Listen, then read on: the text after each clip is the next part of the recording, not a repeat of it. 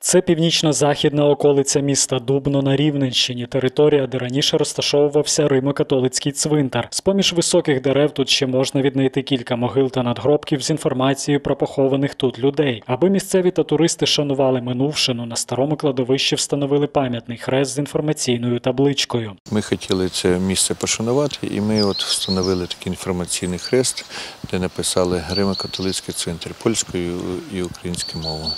І це, я буде ну, досить таке для місцевих жителів е, шанування і дійсно пам'ять, пам'ять про тих е, мешканців, які жили на цих теренах. Своєрідне нагадування про місце та людей, які тут спочивають, облаштували у межах проекту інформаційні хрести на забутих цвинтарях Волині. Серед видатних осіб похований на Римо-католицькому кладовищі у Дубні ірландський майстер садово-паркового мистецтва Діонісій Міклар. Як розповіла краєзнавиця Валентина Данілічева, він був справжнім віртуозом своєї справи. А на терени сучасної Рівненщини приїхав на запрошення заможних князів, щоб розбудовувати їхні маєтки. Ми можемо гордитись тим, що саме е, Діонісій Міклір е, перебував не тільки в Дубному, а ще й у Млинові, е, потім в Мізочі, у Шпанові і в городку навіть. Бо перший власник до барона Штенгеля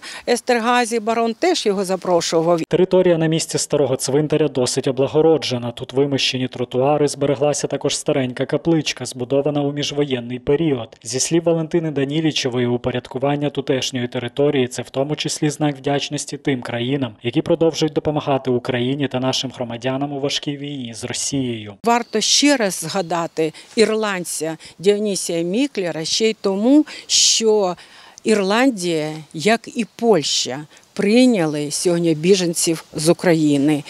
Як поляки і держава Польща допомагає Україні, так і Ірландія. Окрім Діонісія Міклера, на старому римокатолицькому цвинтарі похований батько польського автора поеми Марія Антонія Мальчевського. Як розповіли ініціатори проекту інформаційні хрести на забутих цвинтарях Волині, виконана робота покликана стимулювати дбати про місця пам'яті та шанувати людей, які жили і творили на цій території раніше. Микола Брежицький, Олексій Олексієнко. Випуск новин.